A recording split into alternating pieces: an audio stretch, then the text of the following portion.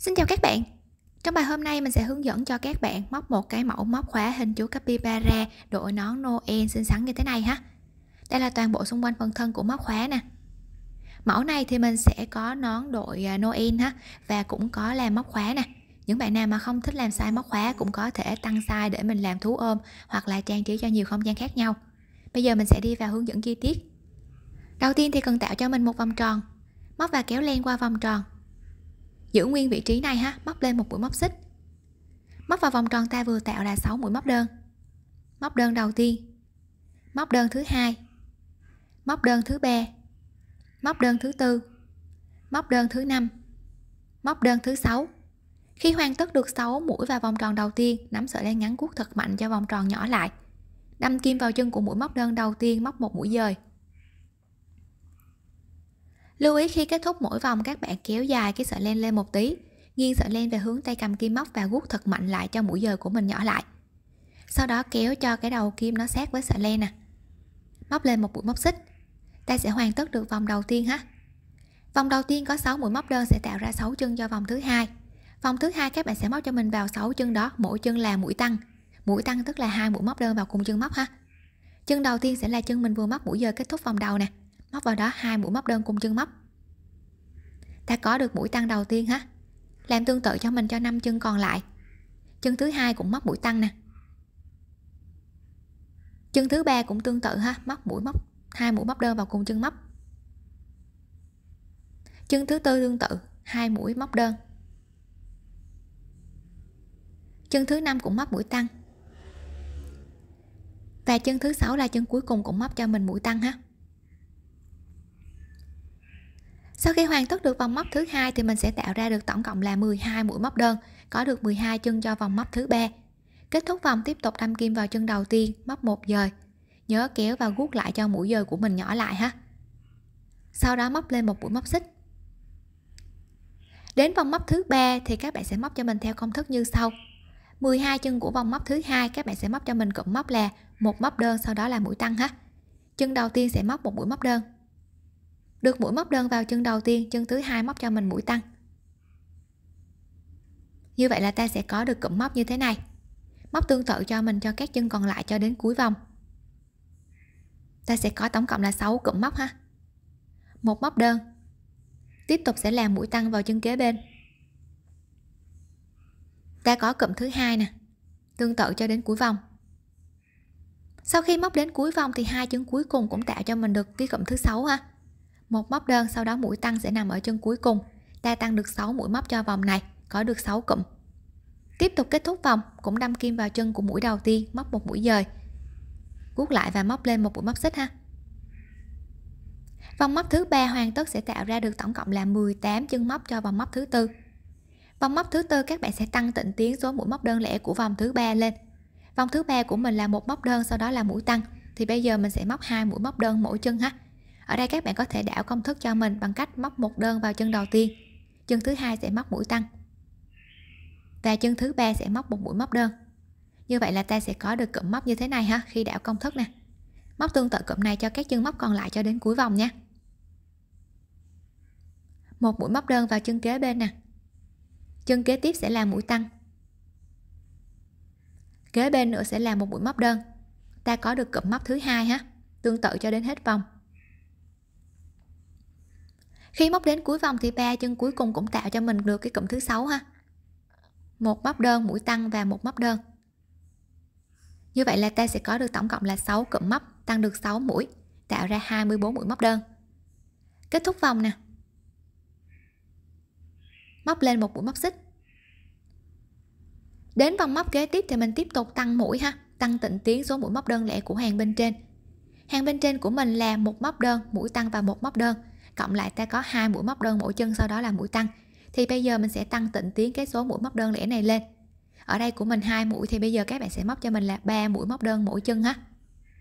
Chân đầu tiên một mũi móc đơn nè. Chân thứ hai một mũi móc đơn. Và chân thứ ba một mũi móc đơn. Có được 3 mũi rồi, chân kế tiếp móc mũi tăng. Như vậy là ta sẽ có được cụm móc như thế này ha. Móc tương tự cụm này cho các chân móc còn lại cho đến cuối vòng sau khi móc đến cuối vòng thì mình sẽ có được tổng cộng là 6 cái cụm móc như thế này. Tăng được 6 mũi, mình sẽ có tổng cộng là 30 mũi móc đơn. Kết thúc vòng. Móc lên một mũi móc xích. Ta sẽ tạo ra được cái độ rộng cho chú copy như thế này ha. Những bạn nào mà muốn tăng size thì các vòng kế tiếp cứ tăng dần số mũi móc đơn lẻ của mỗi hàng móc lên một mũi. Ví dụ như hàng này là 3 mũi, thì hàng kế tiếp các bạn sẽ móc cho mình là 4 mũi móc đơn tiếp tục sẽ là 5 mũi 6 mũi và xen kẽ sẽ là hai mũi cùng chân móc ha. Móc tương tự cho đến khi mình đạt được cái độ rộng của chú copy là được. Đối với size này thì mình sẽ dừng lại ở độ tăng với 5 hàng móc ở trên như thế này. Thì các hàng móc kế tiếp mình sẽ không cần phải tăng mũi nữa ha. Mỗi chân cứ móc cho mình một mũi móc đơn vào mỗi chân móc. Thì ở đây mình có 30 chân móc móc cho mình 30 mũi móc đơn vào 30 chân. Các bạn sẽ móc tương tự cho các chân còn lại cho đến cuối vòng ha kết thúc vòng này thì tiếp tục móc thêm 3 vòng móc tương tự nữa. Tức là ta sẽ có được 4 hàng móc liên tiếp, có 30 mũi móc đơn vào 30 chân ha. Sau khi hoàn tất được tổng cộng là 4 hàng móc, có 30 mũi móc đơn vào 30 chân rồi nè. Thì tiếp tục mình sẽ tăng thêm một hàng móc nữa để cho cái phần thân của các pin nó có cái độ rộng ra hơn ha. Để tăng mũi thì dựa vào hàng tăng mũi gần nhất. Ở đây của mình hàng tăng mũi gần nhất là 3 móc đơn mỗi chân, sau đó là mũi tăng thì bây giờ tăng tịnh tiến tiếp số mũi móc đơn lẻ này. Bây giờ mình sẽ có là bốn mũi móc đơn mỗi chân ha. Mũi đầu tiên, mũi thứ hai, mũi thứ ba và mũi thứ tư. Được 4 mũi rồi chân kế tiếp móc mũi tăng. Như vậy là ta sẽ có được cụm móc như thế này. Móc tương tự cụm này cho các chân còn lại cho đến cuối vòng. Hoặc là đối với hàng móc này các bạn cũng có thể đảo công thức cho mình ha. Nó giống như là hàng móc thứ tư ở bên trên ha mình có thể chia đôi cái số mũi móc đơn lẻ mỗi chân ra. Ở đây 4 mũi, chia đôi ra thì mỗi bên sẽ là hai mũi, đưa cho mình cái mũi tăng vào chính giữa ha. Thì các bạn có thể đảo công thức như sau. Ta sẽ móc hai mũi móc đơn mỗi chân trước. Mũi đầu tiên nè, mũi thứ hai, chân kế bên sẽ móc mũi tăng. Và tiếp tục hai chân kế tiếp, mỗi chân một mũi móc đơn ha. Thì đảo công thức mình sẽ có được cụm như thế này. Các bạn có thể móc cho mình một trong hai cụm cho đến cuối vòng. Khi hoàn tất cho mình được đến cuối thì ta sẽ có tổng cộng là 6 cụm ha, tăng được 6 mũi, tạo ra được 36 mũi móc đơn. Lúc này cái phần thân nó sẽ có được một cái độ rộng ra rồi thì kết thúc vòng. Đến hàng móc kế tiếp thì tương tự, ở bên trên mình có 4 hàng móc móc đều. Thì bây giờ các bạn sẽ móc cho mình tiếp tục 4 hàng móc móc đều. Hàng tăng mũi mình vừa hoàn tất tạo ra được 36 mũi móc, có 36 chân cho vòng kế tiếp, thì mỗi chân móc một mũi móc đơn. Ta có 36 mũi móc đơn vào 36 chân ha móc tương tự cho mình cho thêm 4 hàng như vậy. Khi hoàn tất được tổng cộng 4 hàng móc móc đều rồi nè, thì lúc này cái phần thân của copy nó sẽ bầu ở phía dưới như thế này. Ta có được cái chiều cao của móc khóa rồi thì bây giờ mình sẽ bo lại cho cái phần này. Mình cũng đưa lên phía trên dựa vào cái hàng tăng mũi gần nhất. Hàng tăng mũi gần nhất của mình là 4 mũi móc đơn mỗi chân, sau đó là mũi tăng. Thì các bạn sẽ đưa cho mình cái số mũi móc đơn lẻ. Đây ở đây 4 mũi ha, các bạn sẽ đưa cho mình cái số mũi móc đơn lẻ này xuống phía dưới. Đối với những bạn nào mà tăng sai thì cũng làm tương tự ha. Cứ đưa cho mình cái số mũi móc đơn lẻ của hàng tăng mũi gần nhất xuống phía dưới nè. Mình có 4 mũi móc đơn mỗi chân. Khi có được 4 mũi móc đơn mỗi chân rồi, thay vì bên trên mình tăng mũi, móc vào chân kế bên mũi tăng, thì bây giờ mình giảm mũi. Các bạn sẽ chụm cho mình hai chân liên tiếp lại thành một mũi ha, cho nó có cái độ bo nhỏ lại. Thì để chụm lại móc cho mình như sau ta đâm kim vào chân kế bên, sau đó kéo len qua chân móc. Khi trên kim có được hai đường móc thì mình giữ nguyên cái vị trí này. Tiếp tục mình đâm kim vào chân kế tiếp. Kéo len qua chân móc.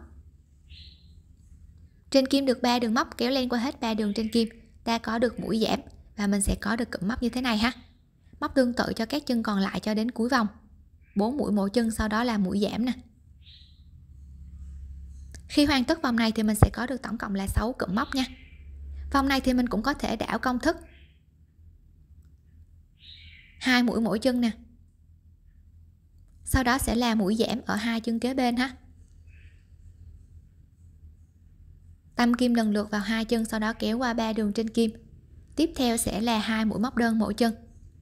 Thì khi đảo công thức, mình cũng có được cụm như thế này. Hai mũi mỗi chân, mũi giảm và hai mũi mỗi chân. Cộng lại ta cũng có bốn mũi mỗi chân ha. Một trong hai cụm các bạn có thể móc tương tự cho đến cuối vòng. Sau khi móc đến cuối vòng thì ta sẽ có được tổng cộng là 6 cụm giảm liên tiếp cho vòng này, giảm đi được 6 mũi, giúp cho cái phần thân dưới nó bo nhỏ lại nè. Tiếp tục kết thúc vòng, đâm kim vào chân đầu tiên, móc một mũi dời, guốc lại và lên một mũi móc xích. Khác với cái hàng tăng mũi ở bên trên, mình tăng tịnh tiến số mũi móc đơn lẻ mỗi chân của mỗi hàng lên một mũi. Thì bây giờ khi giảm mũi, các bạn sẽ giảm dần cái số mũi móc đơn lẻ này ha giảm dần nè, thì ở đây mình có 4 mũi, mỗi chân sau đó là mũi giảm. Thì bây giờ các bạn sẽ giảm cho mình cái số mũi móc đơn lẻ đi. 4 mũi giảm một, còn 3 ha. Mình sẽ móc 3 mũi móc đơn mỗi chân. Mũi thứ nhất, mũi thứ hai, mũi thứ ba, sau đó sẽ là mũi giảm ở hai chân kế bên ha. Đâm kim lần lượt vào hai chân nè. Sau đó kéo len qua hết ba đường trên kim. Ta có được cụm móc như thế này. Móc tương tự cụm này cho các chân còn lại cho đến cuối vòng sau đó liên tiếp các bạn sẽ móc cho mình thêm nhiều hàng móc giảm mũi nữa. Cứ giảm dần cái số mũi móc đơn lẻ đi ha. Ở đây 3 mũi thì hàng kế tiếp sẽ là hai mũi, kế tiếp nữa sẽ là một mũi và xen kẽ sẽ là mũi giảm. Móc cho mình cho đến khi ta đạt được cái hàng móc có một móc đơn, sau đó là mũi giảm nha. Thì sau khi đã hoàn tất cho mình được các hàng móc giảm mũi liên tiếp, vòng cuối cùng của mình đang dừng lại ở cụm một móc đơn, sau đó là mũi giảm. Tạo ra được tổng cộng là 12 chân móc tiếp tục nhồi gòn vào bên trong cho cái phần thân của cáp bi nó cứng cáp hơn. Ta sẽ có được một cái form như thế này. Hàng móc cuối cùng, các bạn sẽ móc cho mình vào 12 chân mà mình vừa tạo này. Móc cho mình liên tiếp 6 mũi chậm ha. Đây, vào 12 chân này ha. Mũi giảm đầu tiên sẽ nằm ở hai chân đầu tiên nè. Tiếp tục mũi giảm thứ hai.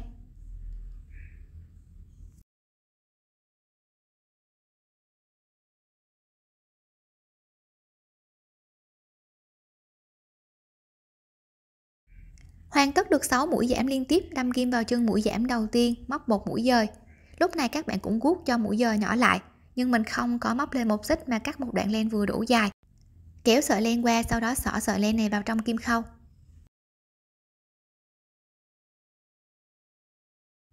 Mình có 6 chân móc của 6 cái mũi chụm này. Các bạn sẽ đâm kim cho mình từ ngoài vào trong đường móc nằm bên trên của 6 chân đó ha. Chân đầu tiên nè. Chân thứ hai nè, đâm vào đường bên trên nhé tiếp tục chân thứ ba nè. Chân thứ tư. Chân thứ năm. Và chân thứ sáu. Được 6 chân rồi đâm kim vào cái vòng tròn mà mình tạo. Kéo lên ha. Vuốt mạnh lại cho cái vòng tròn này nó khít lại nè. Sau đó giấu cái sợi len vào bên trong. Cắt len thừa đi ha nắn chỉnh cho cái họa tiết của mình nó đều lại, ta sẽ có được một cái phần thân của capybara như thế này. Bây giờ mình sẽ móc phần tay cũng như chân và nón ha. Đầu tiên là tay nè, từ cái phần đỉnh đầu, các bạn sẽ giống xong mình xuống dưới nè. Chính giữa của hàng thứ nhất và hàng thứ hai, hàng thứ hai và hàng thứ ba thứ ba và thứ tư thứ tư và thứ năm thứ năm và thứ sáu.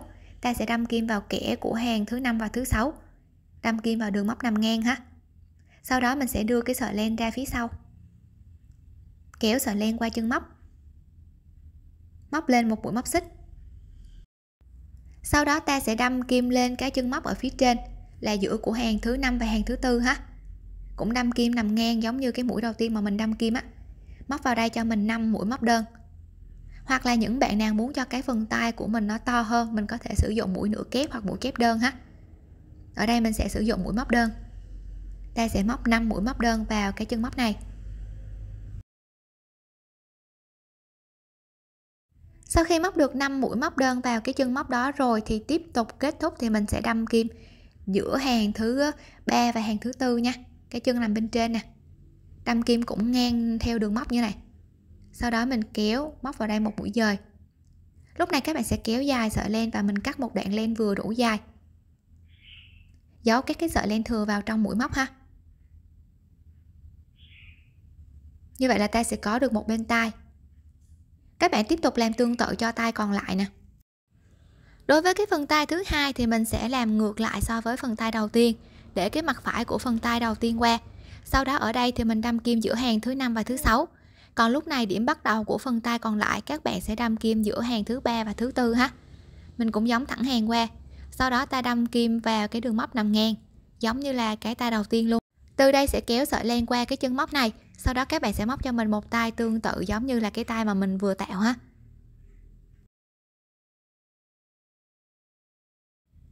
Sau khi hoàn tất được hai tay và giấu tất cả các cái sợi len thừa vào trong mũi móc rồi nè, ta sẽ có được một cái form tay của chuột copy như thế này. Bây giờ mình sẽ móc cái phần chân trên. Các bạn sẽ giống cho mình ở cái phần hông của tay ha.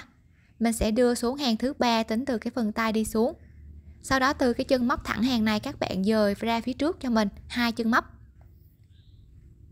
Ta sẽ đâm kim ở cái chân móc mà mình vừa đánh dấu đó. Các bạn sẽ đâm kim cho mình từ trên xuống ha. Từ trên xuống nè. Sau đó mình sẽ đưa cái sợi len ra phía sau cái đường móc mà mình vừa đâm kim này. Kéo sợi len qua chân móc. Từ đây móc lên 4 mũi móc xích. Mũi đầu tiên, mũi thứ hai, mũi thứ ba và mũi thứ tư có được 4 mũi tạo cái độ dài rồi thì móc lên hai mũi móc xích. Chân móc thứ tư móc cho mình một mũi nửa kép. Chân thứ ba cũng tương tự ha, móc một mũi nửa kép. Tiếp tục chân thứ hai cũng móc mũi nửa kép. Còn lại một chân cuối cùng mình sẽ móc mũi móc đơn vào chân cuối cùng ha. Để kết thúc thì kéo dài sợi len, sau đó các bạn cắt một đoạn len vừa đủ dài nè mình sẽ không kết thúc bằng đâm kim vào chân móc mà cắt đoạn len vừa dài. Sau đó mình sẽ cột hai cái đầu len mà mình vừa có ở đây. Đầu len vừa cắt và cái đầu len ban đầu ha. Khi đã cố định lại được hai đầu len rồi, mình sẽ đưa cái sợi len ra phía sau nè, đưa vào trong thân ha. Kéo hai sợi len qua, sau đó lần lượt dùng tay guốc từng sợi cho cái nút của mình cột á, nó luồn vào bên trong. Sau đó giấu len thừa vào trong mũi móc hoặc các bạn cũng có thể cắt len ha ta sẽ có được một phần chân trước như thế này. Tiếp tục đến cái chân thứ hai thì cũng làm tương tự, giống xuống hàng thứ ba, từ hàng thứ ba đưa ra phía trước hai chân móc đối với phần chân đầu tiên mình đâm kim từ trên xuống, còn cái phần chân thứ hai mình đâm kim từ dưới lên ha. Sau đó mình cũng đưa sợi len ra phía sau. Các bạn sẽ kéo sợi len qua chân móc và tạo cho mình một cái chân tương tự. Như vậy là mình sẽ hoàn tất được hai chân ở phía trên ha. Bây giờ mình sẽ móc cái phần chân dưới nè đưa cho mình cái mặt phải giống từ cái mép tay bên này nè, giống thẳng xuống dưới. Các bạn sẽ móc cho mình ở cái phần chân dưới á, giữa cái hàng móc mà mình giảm đầu tiên với thứ hai ha. Ở phần chân trên thì mình đâm kim từ trên xuống, còn cái phần chân dưới này mình đâm kim vào hai chân móc nằm ngang. Ở giữa của hàng giả mũi thứ nhất và thứ hai ha.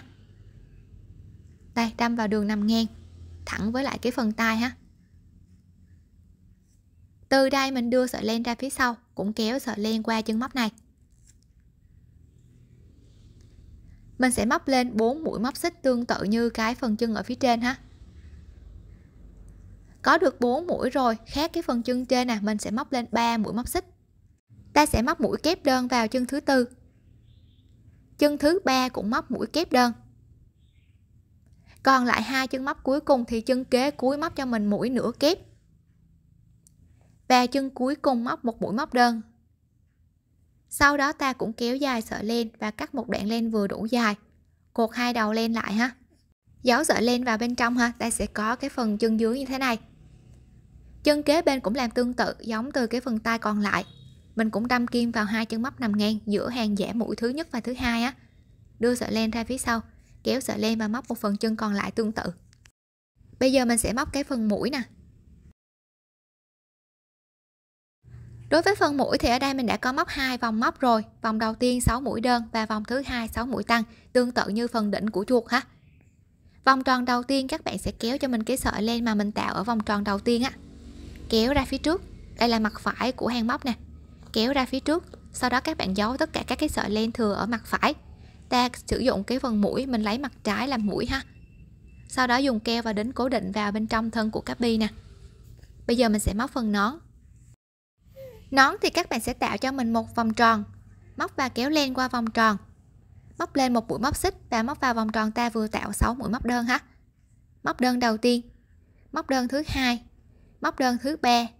Móc đơn thứ tư. Móc đơn thứ năm và mũi móc đơn thứ sáu. Sau đó nắm sợi len guốc lại cho vòng tròn nhỏ lại. Đâm kim vào chân của mũi móc đơn đầu tiên, móc một mũi dời nhớ hơn mỗi lần kết thúc vòng guốc lại cho cái mũi giờ nhỏ lại, sau đó móc lên một mũi móc xích. Đến vòng móc thứ hai thì mình sẽ móc vào 6 chân của vòng đầu tiên, mỗi chân là một mũi móc đơn. Ta sẽ có 6 mũi móc đơn vào 6 chân ha. Mũi đầu tiên nè, móc đơn thứ hai, móc đơn thứ ba vào chân thứ ba, móc đơn thứ tư, móc đơn thứ năm và mũi móc đơn thứ sáu vào chân cuối cùng sau khi hoàn tất 6 mũi móc đơn vào 6 chân, kết thúc cũng đâm kim vào chân đầu tiên, móc một mũi dời. Sau đó gút lại và móc lên một mũi móc xích. Vòng móc thứ ba mình sẽ tạo cái độ rộng cho phần thân nón. Các bạn sẽ móc cho mình cụm móc một móc đơn, sau đó là mũi tăng ha. Mình sẽ móc 3 cụm liên tiếp ở vòng này. Một móc đơn vào chân đầu tiên và chân kế bên móc mũi tăng nè. Móc tương tự đến cuối hàng, ta sẽ có 3 cụm liên tiếp nha. Một móc đơn, sau đó là mũi tăng sau khi móc kết thúc vòng thì đâm kim vào chân đầu tiên móc một mũi dời ha. Lên một xích nè. Từ vòng móc kế tiếp thì mình sẽ làm tương tự giống như là cái phần đỉnh đầu ha. Cứ tăng tịnh tiến số mũi móc đơn lẻ, mỗi chân lên một mũi, thì cái phần à, nón của mình nó sẽ dần dần rộng ra. Tăng tịnh tiến nè, hàng bên trên của mình đang có là một móc đơn, sau đó là mũi tăng. Thì hàng kế tiếp tăng tịnh tiến, mình có hai mũi móc đơn mỗi chân. Sau đó sẽ là mũi tăng ha ta sẽ có được cụm móc như thế này. Móc tương tự cho các chân còn lại cho đến cuối vòng thì mỗi vòng mình sẽ có tổng cộng là 3 cụm móc. Móc tương tự thêm nhiều vòng móc cho đến khi ta đạt được chiều cao của phần thân nón. Đối với form nón này thì mình sẽ tăng lên tổng cộng là 8 vòng móc. Mình dừng lại ở cụm móc 3 móc đơn mỗi chân mũi tăng và 3 móc đơn mỗi chân ha, ta đã công thức nè. Mình có được cái chiều cao của phần thân nón như thế này rồi sử dụng cho mình một ít len bông xù hoặc các bạn cũng có thể sử dụng len miêu mà màu trắng cũng được ha, cùng loại cũng được. Sau đó ta sẽ móc một hàng viền cho cái phần thân nón. Mình đâm kim vào chân đầu tiên, kéo len qua móc lên một mũi móc xích. Để cho cái phần viền này nó được to và dày dặn hơn, các bạn có thể móc cho mình mũi nửa kép hoặc là mũi kép đơn. Mình sẽ móc mỗi chân là hai mũi nửa kép cho cái phần viền này nó được to và đều hơn ha. Mỗi chân cứ móc cho mình hai mũi nửa kép nè. Khi móc nhớ giấu len thừa nha. Sau khi đã hoàn tất cho mình được viền của nón thì ở bên trên đỉnh các bạn có thể tạo cho mình một cục bông ở bên trên ha, hoặc có thể gắn ngôi sao cũng được để trang trí cho phần thân nón của mình nè. Phần họa tiết ở bên trên thì sử dụng cho mình cái sợi len màu đen, các bạn sẽ tách sợi ha. Mình sẽ tách khoảng tầm 2 sợi, xỏ sợi len vào trong kim khâu. Các bạn sẽ trang trí mắt cũng như là mũi cho chú Cappy ha. Giấu len thừa vào bên trong trước nè, chọn cho mình một hàng để tạo mắt độ rộng của mắt thì có thể tầm khoảng 1 cho đến 2 chân móc nha. Sau đó mình sẽ đâm kim ngang qua cái hướng đối diện và mình tạo mắt còn lại. Sau đó đâm kim lên phía mũi và tạo phần mũi nè. Để tạo họa tiết mũi có được hình chữ V nè, thì từ cái điểm mà mình đâm kim lên ha, đâm qua cái chân móc đối diện. Đâm xuống vòng tròn đầu tiên ta tạo nè. Đưa cái sợi len này ở phía dưới kim ha, kéo lên qua. Con đầu còn lại thì đâm thẳng xuống phía dưới, sau đó giấu lên thừa ha để tạo điểm nhấn thì có thể dùng phấn má hồng đánh má hai bên cho các bi của mình ha. Phần nón thì nhồi một ít gòn vào bên trong. Các bạn có thể sử dụng cho mình kim khâu hoặc là keo nến. Mình đính cố định phần nón ở bên hông của chú Cappy ha. Sau khi đã gắn hoàn tất được họa tiết trang trí lên thân của Cappy rồi, thì ta sẽ có được một chú Cappy xinh xắn như thế này ha. Các bạn có thể sử dụng cho mình khoen móc khóa. Mình đính ở bên trên, tạo cái độ cân bằng cho móc khóa của mình như vậy là ta sẽ hoàn tất được một mẫu capi độ nón Noel xinh xắn như thế này ha. Khi thực hiện có điểm nào không hiểu thì để lại bình luận bên dưới để mình giải đáp thắc mắc nha. Chúc các bạn móc thành công.